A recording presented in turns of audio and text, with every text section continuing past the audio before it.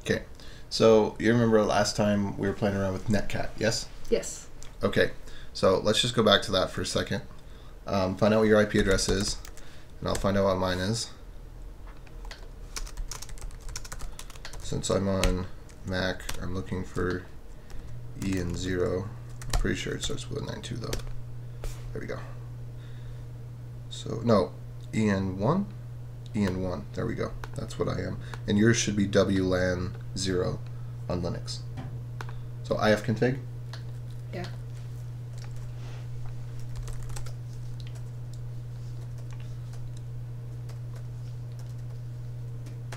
Okay, good. And yours is one nine two dot one six eight dot seven dot one seven five. I think that's the same thing it was the other day. and mine is one nine two dot one six eight dot five dot two five, which is also the same thing it was the other day. So I'm going to ping you. I can reach you. Um, so you go ahead and do nc dash l like you were doing there. And what port are you going to put it on? 4000 would probably be okay. Great. All right, so that's what you're doing. So you're running a server. I'm not going to run the server. I'm going to run the client. So I'm going to connect to you at 192.168.7.175. Okay. So basically, um, whoops, and I didn't tell what port. Port 4000. Okay. So I'm typing, hello, Brianna. You receive it. You type back. I receive it. Great. Okay, so let's cancel that. Um, and I'm going to start up a listener this time, and you you keep the listener as well because we're going to do the same thing, but on I'm going to do it on my computer. You're going to do it on your computer. Okay. All right. So So back to listening mode. yeah, so go back to listening mode. Listen on port 4000. That's great. Okay, so we're both listening. Now, instead of me talking to your computer and you talking to my computer, we're just going to simplify this by talking to our own computers um, so that I can record it. But if you go to http colon slash slash, and I don't even think you got to type all that in, you just type in localhost colon 4000. So your computer is acting as a server right now, and it's serving on port 4000. Now you're going to open up a listener. Okay? And look what happens. This is HTTP right here. So what it is is it's a specific format that the one computer sends to the other. So it has this get slash HTTP slash 1.1. So what this is saying is the verb of what what action to take, the resource, which in this case is just the root resource. This is the default resource Okay. and then this is the protocol. So it's HTTP protocol version 1.1. Okay. And there are actually a lot of protocols that look just like HTTP. Um, this is called MIME format. It's like multimedia internet or mul- media internet multi extension or something like that. I'll just Wikipedia it real quick. Mine. Except my internet's busted, so I can't. Okay, never mind. Anyway, so aside from the first line here that defines um, mime, M I M E. Yeah. Not not mine. Since you're looking that up on your computer. But take a look at this real quick. So it's all key value pairs. So there's a key, and then there's a colon, and a space, and then a value. So the key is host, the value is localhost colon 4000. Right? Okay. The key is connection, the value is keep alive. The key is accept, the value is these bunch of things. So uh, these have various meanings. The only one that's really required is, I think, this host one. I think if you don't specify connection, it defaults to close. If you don't specify accept, it just defaults to anything. If you don't specify user agent, it doesn't matter. Um, user agent is like what the browser is. All browsers report themselves to be Mozilla, no matter what they are. because back in the 1990s, people were doing the right thing and not allowing Internet Explorer to connect to sites because it wasn't standards compliant. And they were like, well, we're only serving Mozilla sites here because that's the standard we follow. And then Microsoft started adding Mozilla to there. So if you were to connect with a browser that doesn't have Mozilla in it to like some site that was built in the 1990s and never updated, it very well might say you need to be using Mozilla in order to use this site because it was like the first browser engine.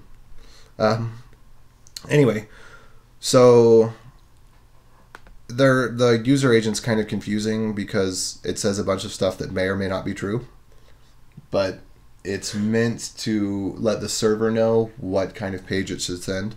Like when you know the user agent's Chrome, you might just expect your web page to work exactly the way you programmed it. But if you see that it's Internet Explorer, then you might want to send a header that says, "Hey, upgrade to Chrome Frame." And because um, you can install a plugin in Internet Explorer that will make it behave properly, it's called Chrome Frame. Okay. Anyway, so generally that's frowned upon to to use the user agent to provide special features, but sometimes it makes sense, like in the case of Chrome Frame. Um, and then these accept encoding language charset. I won't go into that right now, but the basics are um, these these first ones right here. All right, let me see if this is timed out yet. No, it hasn't. Thank goodness. Okay, so and then I need to respond to this request with with something to let the browser know that it, it has something it can do. You need to start your server again. You quit it, Yeah. or it quit. Hit quit. Yeah, so just start the server again and then hit refresh. So just hit up, hit enter. There you go. Now you're listening in. Go ahead and hit refresh. Okay, so this is the message that the browser sent to us. This is just what happens like when you connect to google.com, that's what the google.com server sees. And then we need to respond to it and tell it, you know, it says it wants to get something and we need to tell it, okay, I'll get that for you. So um, since I'm not able to Google, will you Google coolaj86 uh, HTTP examples? Okay, try. Oh, let me see. Now I'm connected to my 3G. Maybe I'll be able to do this.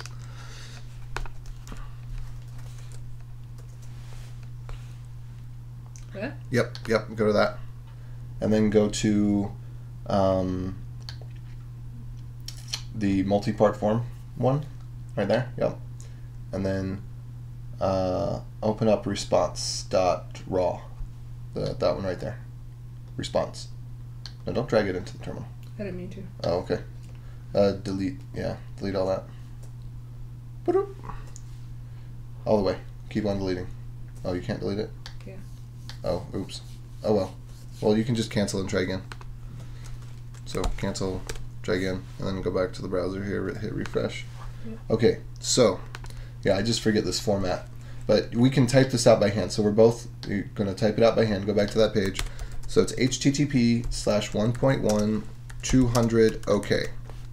What this means is I'm responding back and I'm saying yes, I am protocol HTTP 1.1. 200 is the code that means um, that means everything went fine, like I was able to do what you asked me to do. And then OK is a message. It could be any message. It could be snarfblat. Doesn't matter. But generally, it's okay. That's the standard message for 200. And then we could say uh, we need to tell it um, content type and then give it uh, let's do text plain text slash plain or we could do text slash html but we're not actually going to put html But that doesn't matter that. Eh, that yeah that one we're just going to ignore that line because that's not something that we need Okay. okay um and then let's see we want connection. Close would be appropriate. And it doesn't matter which order you put these in. Oh and also another header. So in a request header you're required to have host. And i think that's the only header you're actually required to have is the host one. And a response header, you're required to have date, and I believe you're required to have content length. Or you could tell it that it's chunked, but that is more work than what I want to do right now. Um, so then the date needs to be in this format. Let's see, Monday, uh, was it the 11th of March 2013? March 11th, yep, okay. 2013. And then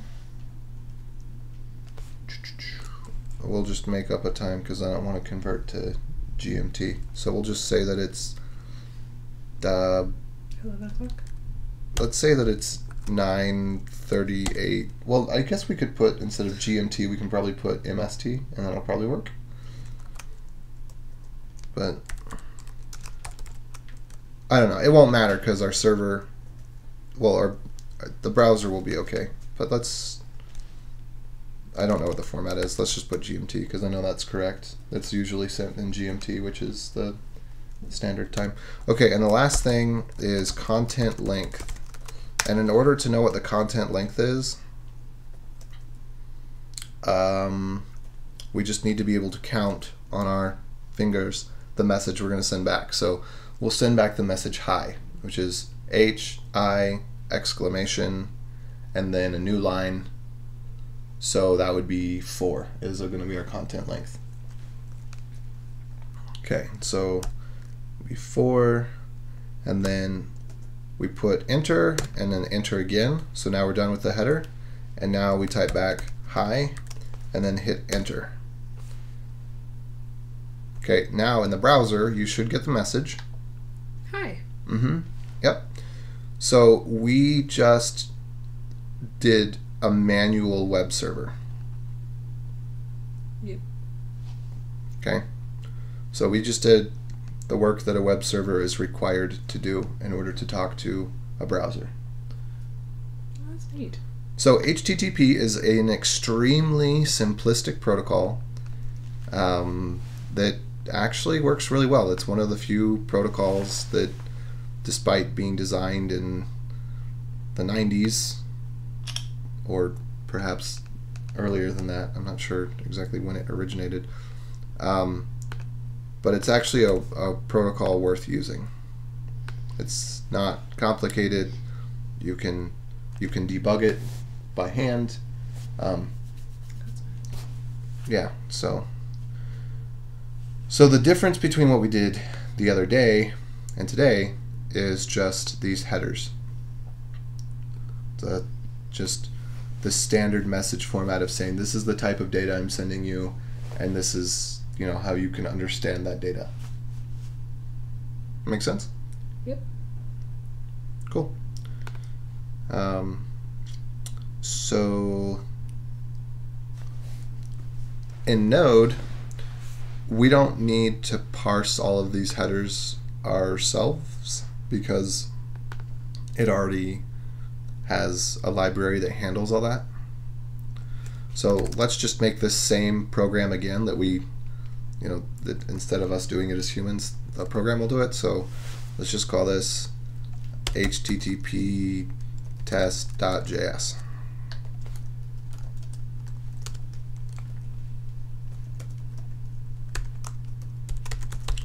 And start off with the customary function blob. Use strict var http equals require http. And then http I think it's dot create server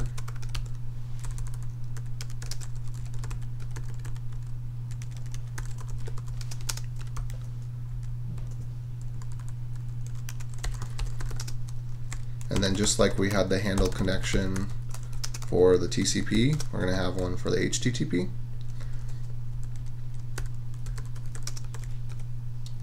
So there will be request and response.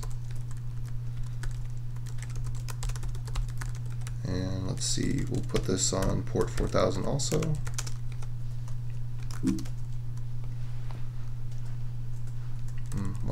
what I'm doing. Hmm, that's odd. Oh, I need to make my um, put JS RC back in place. I was doing a tutorial on JS Hint, and I uh, removed it. Okay, good.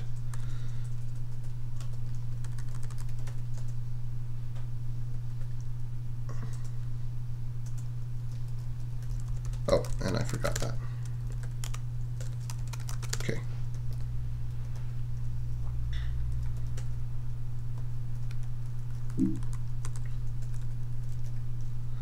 So what I'm going to do is I'm going to look at the response headers. I'm just going to console.log them. So you won't see these in plain text format. You'll see them as a JavaScript object.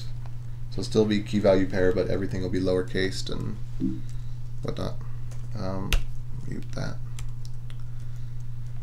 And then with the response, I will just set header content type text plain char set equals UTF-8. And so this right here is a standard MIME type, this text plain.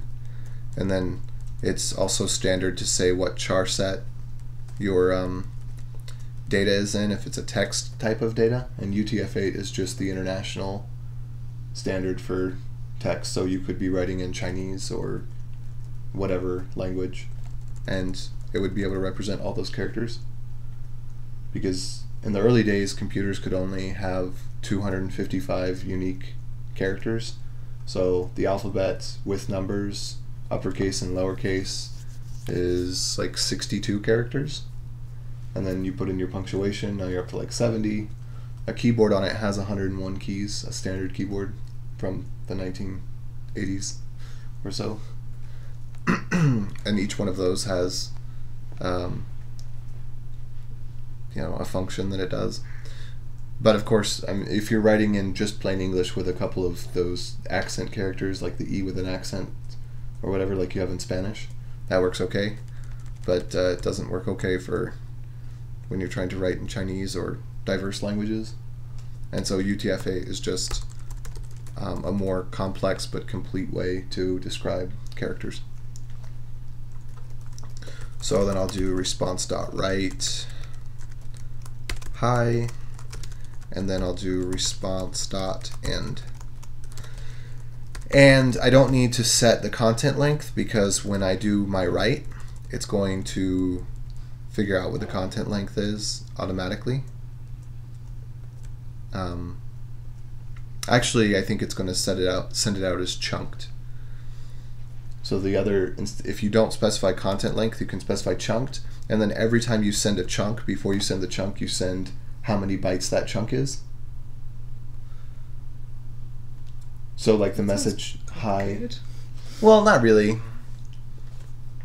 It's it's actually a lot simpler because if I want to find out what the content length is, I have to know the entire message that I'm going to send before I send it, right? But if I chunk it out, then I can just be like, oh, I know that this is three characters, so I'm going to send out the number three, and then I'm going to send out the three characters, and then I send out the, the uh, number zero, or new line, and then the number zero. And so it knows when I see a new line in the number zero, then it's over. Transmission's complete for that chunk. And then it looks for the next chunk. Actually, I don't even think it doesn't have the number zero at the end.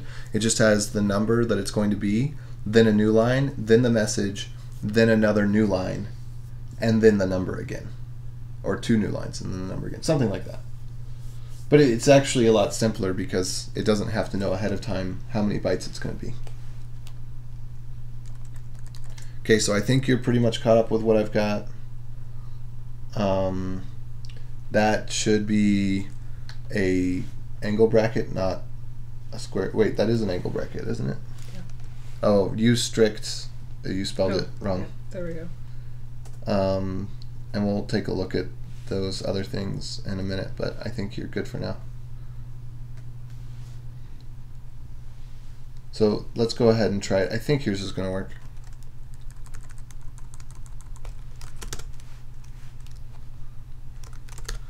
So we'll run this node HTTP test. Add listener only takes instance of function. Oh, I know what I did wrong here. Server.listen. This should be 4000 and then on listening. Create another function.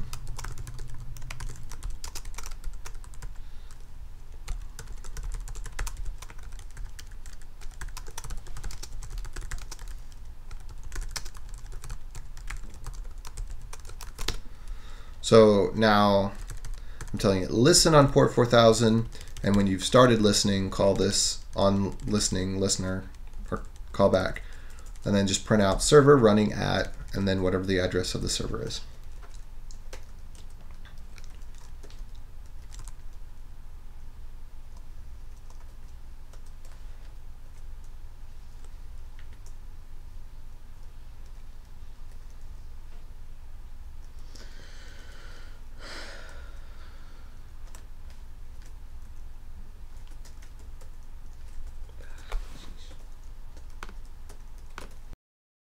Okay, so I'll teach you another quick trick, totally unrelated. Open up uh, a listener again. Actually, don't open up a listener. Let me, I'll open up a listener. I'm going to open it up on port uh, 5000 and I'm going to direct in my file, which is my JS hint RC.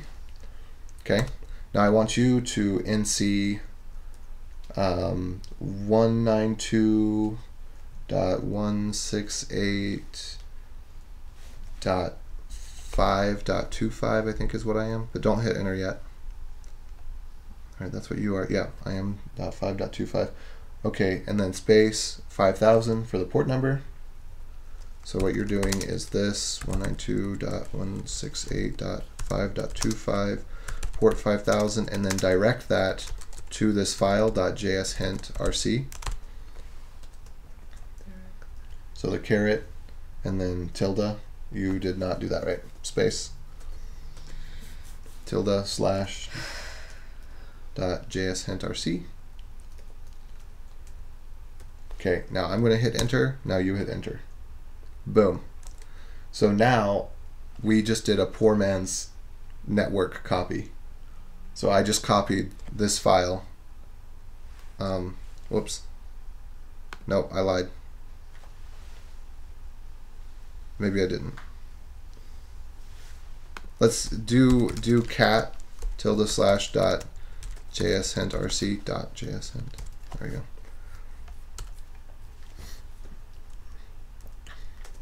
Just hit js hit tab. You type too much. Tab tab. Or type the whole thing. Whatever.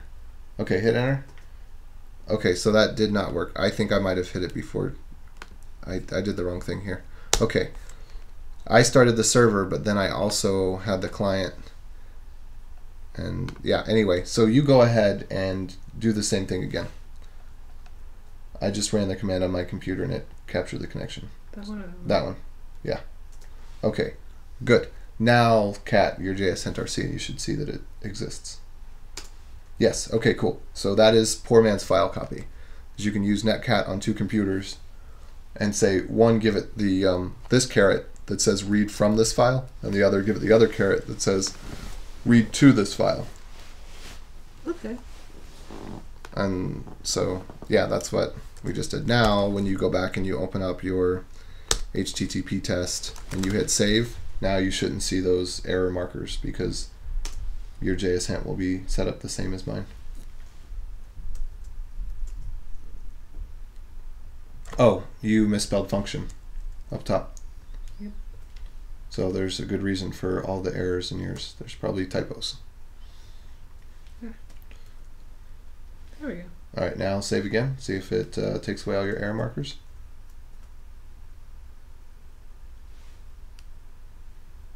Gave me more. Um, Alright, what am I doing wrong here? I'm going to pause this again. So now that you got your typos fixed and you're at the same place that I am, let's go ahead and I'll do colon WQ to write and save. And then I'll clear to get rid of some of this other stuff. And now node HTTP test. Right? And I'll hit enter. This is what I get. Hit tab. Don't type so much. There you go. Good. Remember, typing is the number one reason for typos. Actually, Vim has a little plug-in mode where you don't even have to type out things like function. You can just hit F and hit tab, and it'll assume that you meant function and like whatever variables you have. You can just like hit tab, and it will cycle through the ones that start with that letter. But I don't use that plugin for some reason. I probably should start doing it. Then I'd have fewer typos as well. Anyway, that'll be another lesson for another day. Right. But now, um, if we hit the refresh button, boom, we should see all of the headers and we should see our same message. Let's go ahead and change our message. So I'm going to hit Control C to end that server and then hit up a couple times so I can get back into edit it. Let's change this message to hello uh, world because that is very appropriate. And then I did colon WQ to save and quit. Now I'm running my server again and then refresh. Okay, so now we're positive that it wasn't just some, you know, that it that it didn't work and it just left the thing there. We know because it changed that it actually did work. So you go ahead and try on your side. You're not running your server. Hit up. Hit up. Yep, there you go. Boom, enter. Okay, so now you're running your server. Go ahead and hit refresh. Boom.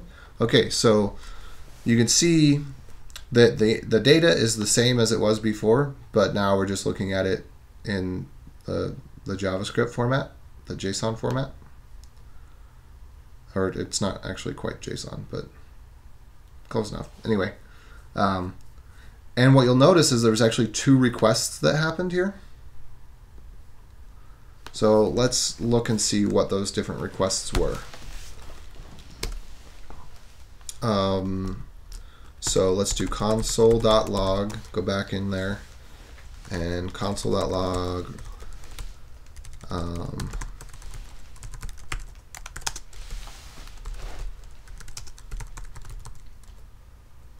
I think there's version, I'm not sure about that. I wish I could Google it.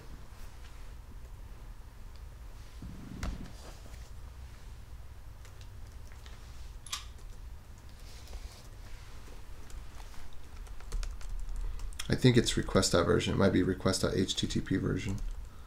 I'll try both just to see.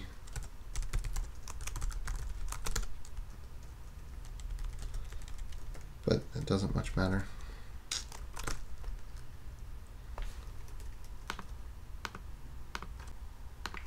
Okay, so now we'll run this again, hit refresh. Uh, okay, and it was request.http version.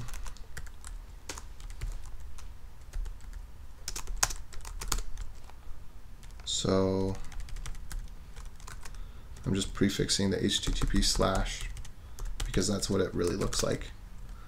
But anyway, so run it, refresh. Okay, so now we can see this was the first request. Whoops. Normally I'd have my phone on silent, but since the Comcast guy is going to call me back, I don't. I know. Um, and then the second request is for favicon. And favicon is the little thing that shows up right here in your browser, where it shows you like the icon for the website. Okay. So when a browser makes a request, as soon as the first request succeeds, which is the the initial get for whatever resource, like you know, if you're just visiting the homepage, if you're just going to google.com, then you're getting slash. If you're going to like google.com slash mail, then it would be slash mail. Make sense? Yes. Okay. So like if I do localhost slash mail, then boom, it also gets you know, does slash mail. So whatever this thing is after the name. And normally it would be on port 80, so it would be colon 80, except you don't need to type that in because that's the standard port. You only need to type in the port number when it's a non-standard port. Like 4,000. Yeah. So any port other than 80 or I think it's 443 is the port that you use for like a bank or something, the secure port. But we're not going to play with that right now. So anyway, um, the next request a browser always tries to get is favicon.ico, or and that can just be it can either be an actual ICO type file, which is not something I'm going to explain right now, or it can just be a PNG, and it's it'll be like um, I think the standard resolution for it is 16 by 16. Okay.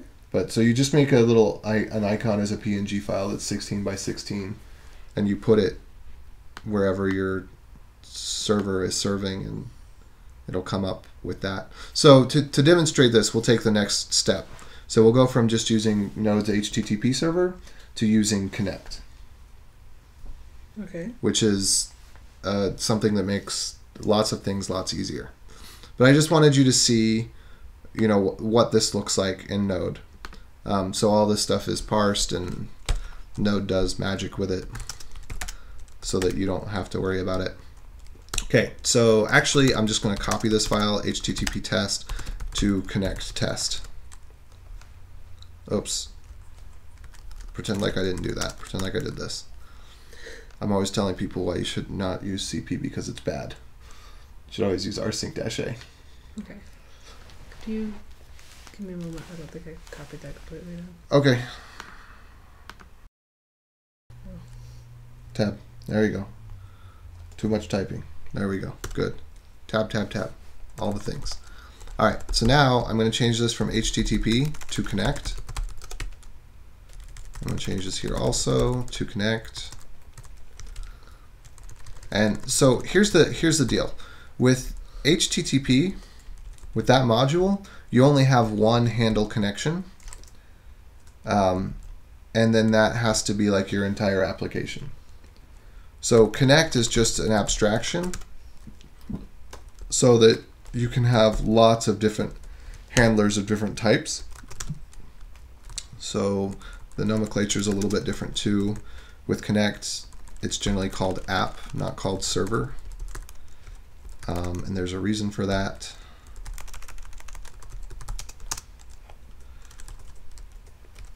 I don't know what that reason is entirely, but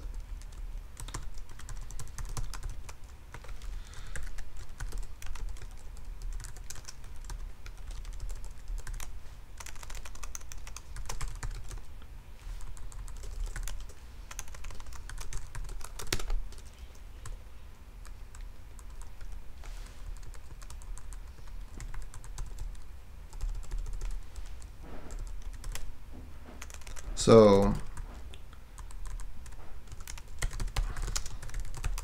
here I'm going to have a logger. Whoops. And so for every request, I'm going to log stuff about the request and the response. And then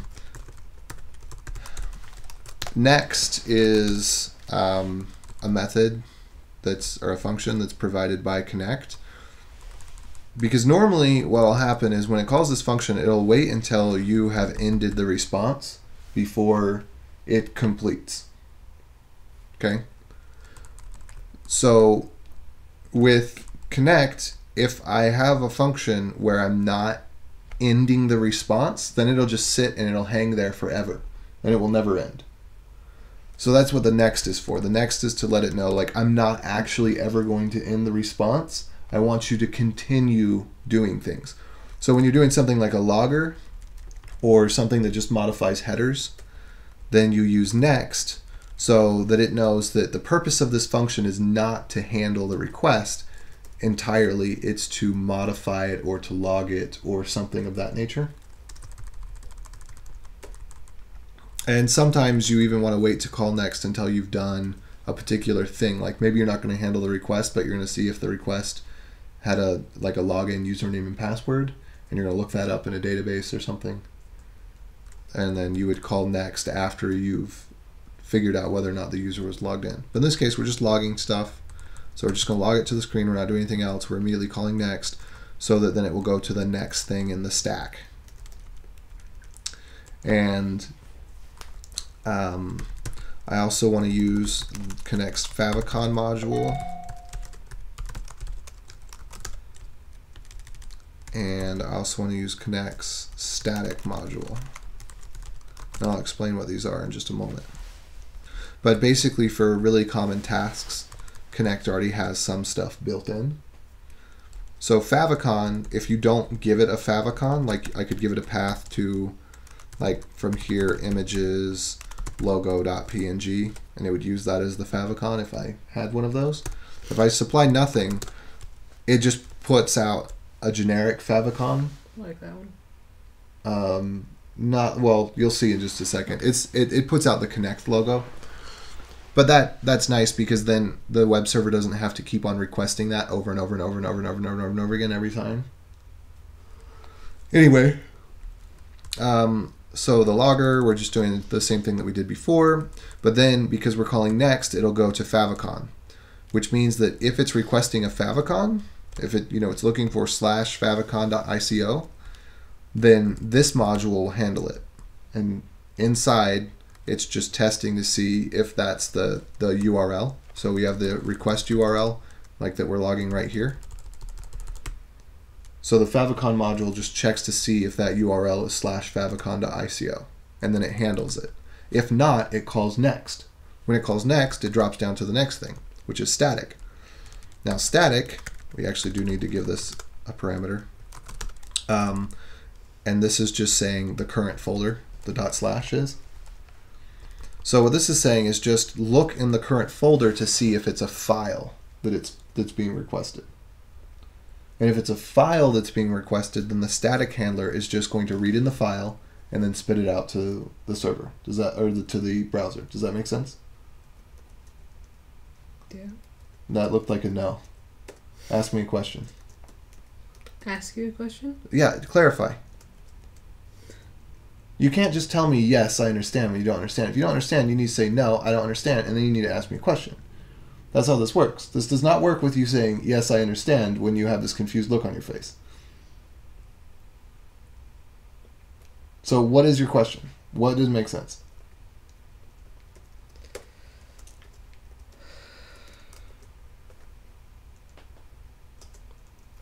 Breathing loudly isn't a question.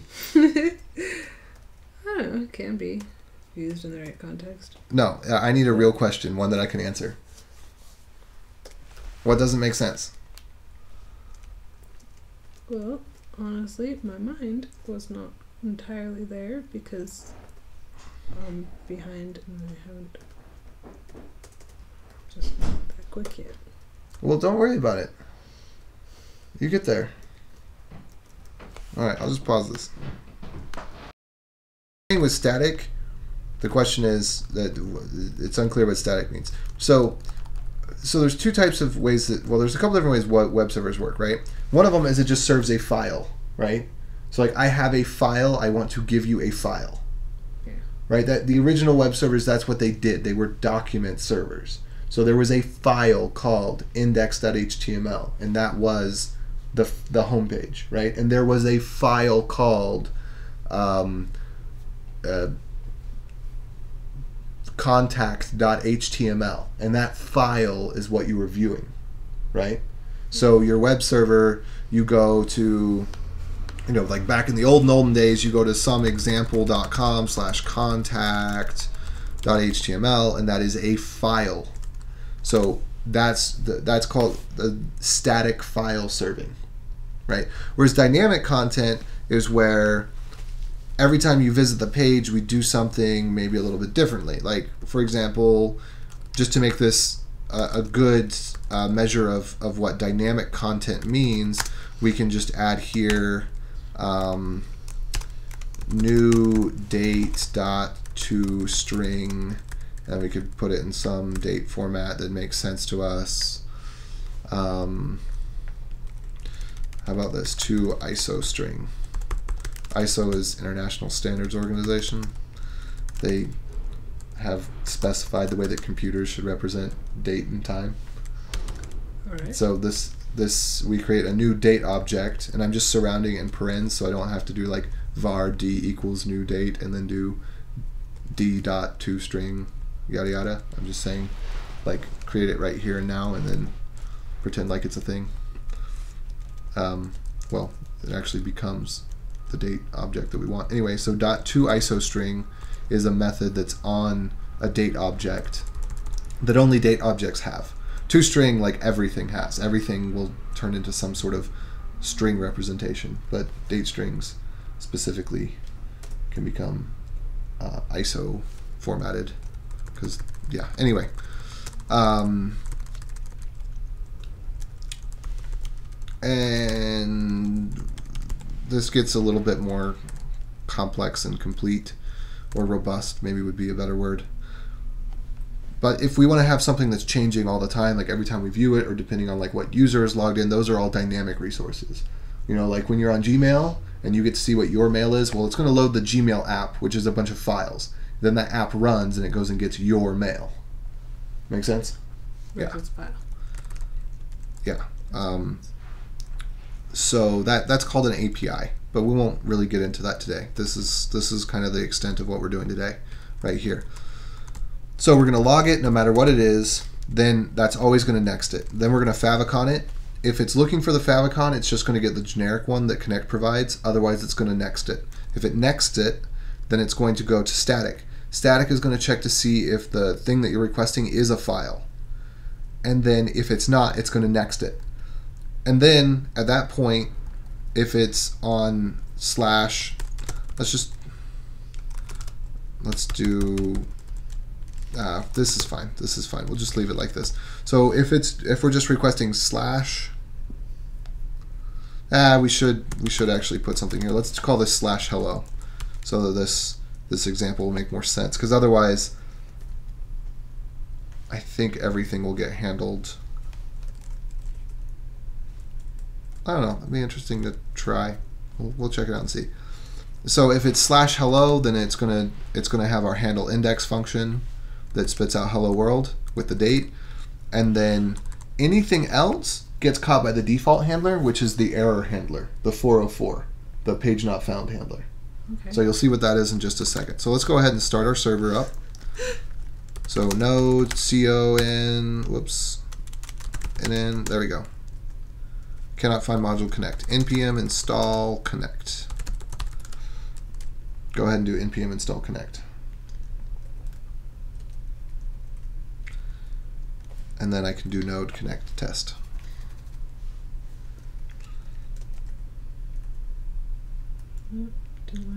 Connect. You, you don't have it yet, so you're just going to type out the whole thing. Yeah, there you go. Oh, and I can't get it because I'm not online. That's okay. I'm pretty sure I've got it in another project here. Whoa. Holy junk, that's a lot of stuff. Um, okay, let's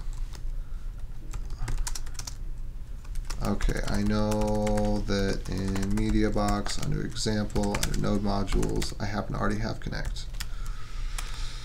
Except maybe it's just under, there we go.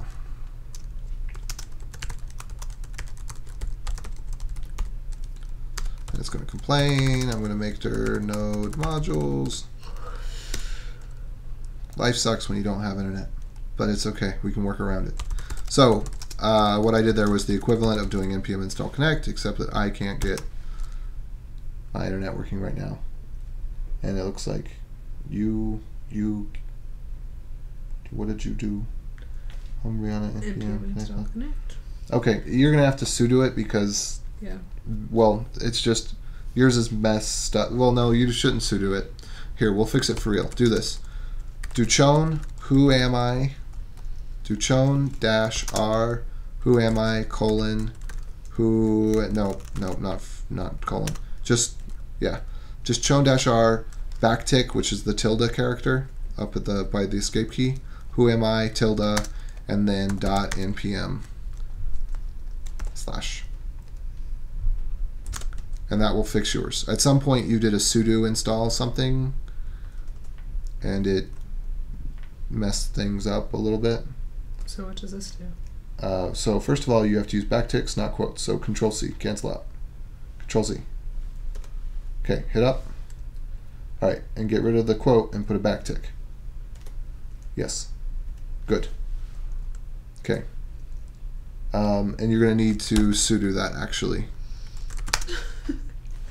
All right.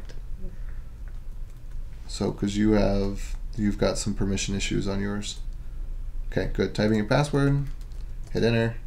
Should just take a second. Good. Now you should be able to do npm install and it should work for you. So hit up, yep, hit enter. Boom, boom, boom. Still don't work. Oh, okay. And the other thing that you need to do is rumref tilde slash temp. Okay. Okay, and sudo that. Boom. I'll do it too, even though I don't need to. But yeah, you just had some EACCES errors because at some point you did a sudo npm install when you probably intended to do a sudo npm install dash g. Um, and then while we're at it, fixing these permission errors, go ahead and do that to USR local as well. So yeah, just slash USR slash local slash. And then you won't have to do it when you, oh, and it needs to be sudo.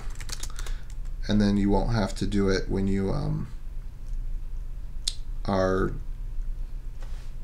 uh, npm installing npm install dash g won't won't need you to have your permissions um, set weird either. So now everything should be as it should be. Anyway, so now I can do node connect test. So I've got the server running. It's on port 4000. You should do the same. Just hit tab. You type too much. Hit tab. Thank you. Number one reason for typos is typing. Don't type, you won't have typos. Okay, cool. So, great. So now uh, the default response I get is the error handler. And if I look over here, I see get slash, and then I see get favicon. So the slash was handled by the error handler. The favicon was handled by Connect's built-in favicon module. Now you can see there's a favicon right here. So we know that's working. Okay, and now I'm going to go to slash hello. Mm, okay, the static module is set wrong. I know what I need to do to fix it. The new static module has some security stuff where it doesn't like it when you put in dots in the path name. So what I have to do instead is do dirname. Should I be doing that too? Yeah, change it change it from dot slash to dirname. And dirname means the current directory. So it's in this case it happens to be the same thing as dot slash because we're running it from the current directory. Um, this is actually more correct than what I had put previously. So yeah, just replace the dot slash with dirname. It's kind of smart what Connect is doing. It's basically preventing you from accidentally allowing access to a folder that you don't mean to because if you just put dot slash, then if you run it from a different directory, then it's going to serve up that different directory and normally that would be a security vulnerability because like if you run this file from um, the root of your hard drive, you don't want people to have access to everything on your hard drive. That's probably not what you intended to do. And so it's just kind of protecting you from that. Okay, no quotes, just dirname. Dir name underscore underscore dirname is a special variable that's uh, part of node. And it's just saying that it's the name of the directory where we are. So I'll just console.log it so you can see. I'll put it in the um, here in the on listen. Serving directory. There we go. And don't don't even just just for the sake of progressing, just skip logging that out. I'm just logging it out so you can see it. It's not really necessary. But so this is the directory that we're in, and really, if I was doing this right, I should have created like a directory called connect test and then put all that stuff in there, but I just control C that. I'm not going to do it right now. Um, oops. So node connect test. Um, again, I'm going to go back here. There we go. So now if I do hello, I see the time. If I do the root, I see the error message. If I do hello slash blah, let's see what it does. Okay, yeah, so it handles everything that is under hello. That's what I thought it would. So if we do slash error, cannot get error. Now, let's say we want to do a file, like the name of our file is connect test.js. So you can go ahead and get that, and the static module will be like, oh, that's a file. I can find that file. I'll give you that file. Ta-da. So now you've got a web server that you've written in Node that does fun things that a web server does. So if we wanted to go a little bit further with this, the next step, and then we'll be done because I don't want to take forever on this today. We'll have to, you know, do another small section another day. Um, but I'll just go ahead and do path.join dirname with um, public.